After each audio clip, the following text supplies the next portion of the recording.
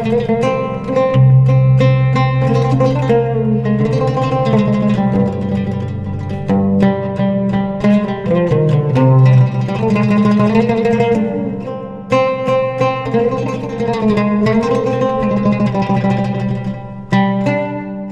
علي عندي 67 سنة بشتغل وأنا عندي تسع سنين. أنا سبت المدرسة وحبيت النول وبدأت إن أنا إيه حياتي كلها خدت على النول. لأن أنا مواليد 51 كان كل قرية عندنا كان فيها نوال عاملاها الحكومة تبع شؤون اجتماعية.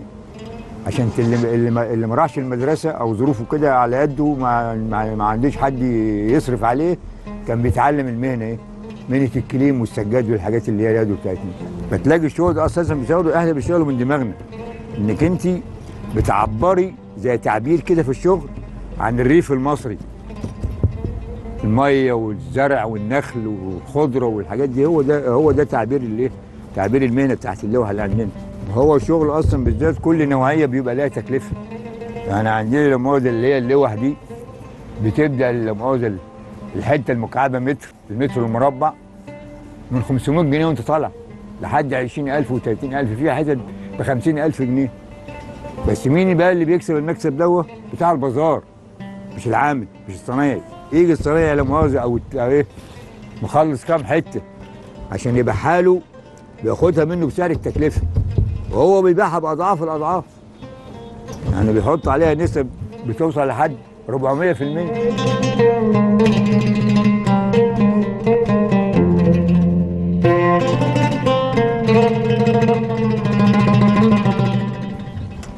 شيخ الحرفيين لازم يكون ليه مواصفات. إن هو بيبقى أقدم واحد في المهنة بيبقى صنايعي أكتر واحد بينتج أكتر واحد علم يعني أنا أكتر واحد علمت ناس. كنت أجيب العيل من الشارع كده وما بيروحش مدرسه ولا حاجة وكنت بعد شهرين ثلاثة كان بيشتغل. اللي بلاقيه عايز يشتغل بوفر من أكلي عشان أشغله معايا عشان أخليه إيه أجيب له شوية الصوف عشان يشتغل وينتج ويعمل. واحد بيتصل بيا امبارح ها راجل عجوز زي حالاتي كده بيقول لي أنا قاعد يا عم محمد أنا قاعد أنا في البيت. ما بشتغلش والنول اللي كان عندي بعته. قلت له يا ابني اشتري نول وأنا اودي لك الصوف. أنا بعمل كده. بس احب اشجع الصنايعي عشان العملية تستمر.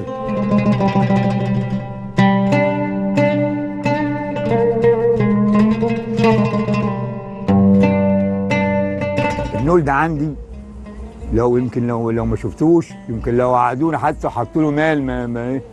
هي هي هي راحة نفسية. العمل ده راحة نفسية. أنا اتعودت على كده. وبتبقى أحلى حاجة عند عند الصنايعي اللي زي حالاتنا أحلى لحظة.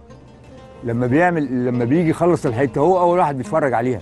بتبقى بتبقى ال- ال- اللحظة بتاعتها إنك أنت عملت موضوع وعملت وتعبت وعملت حاجة زي كده بيبقى ليها بيبقى ليها إيه؟ بيبقى ليها قيمة. يعني شوف أنا رغم سن أهو وتلاقيني بقعد من الساعة 10 الصبح لحد المغرب وأنا قاعد على النور. لو قعدت أسبوع بتعب. لو قعدت أسبوع من غير ما أقعد على النور لأن الواحد بيفضي الطاقة بتاعته في الشغل وبيبقى ساعة ما بقعد على النور بحس براحة نفسية. بتطلب من ربنا إن أنا أموت على النور